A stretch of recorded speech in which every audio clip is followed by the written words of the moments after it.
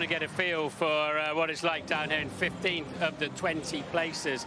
Car number one then, there it is, very much out of position in terms of its ultimate performance. And Max has been talking about uh, the, his foot slipping on the brake pedal. Um, but otherwise, no issues. That's why they're getting inside the cockpit and why they're working on the front of the car. I can see Christian Horner standing over here. Uh, Christian, uh, what's the problem with the brake pedal?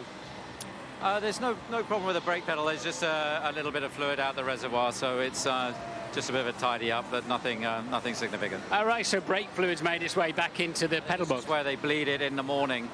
Um, so uh, they they all seem. Uh, you know, if you look at Phyllis, he's the chief mechanic.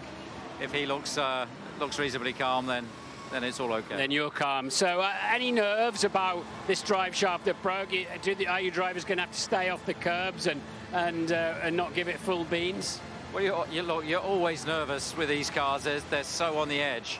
Um, but uh, I think we understood the failure that happened. Hopefully, we have a remedy for it. You know, here uh, we checked Checo's; they were all fine. So, um, you know, let's see. It's a long race and a tough one. A bit of fingers crossed. Then, can he win this? Do you expect him to be top two? I think it's a big shot to win it. If he got anywhere near the podium, that'd be a hell of a drive. All right, good stuff. Let's make our way down.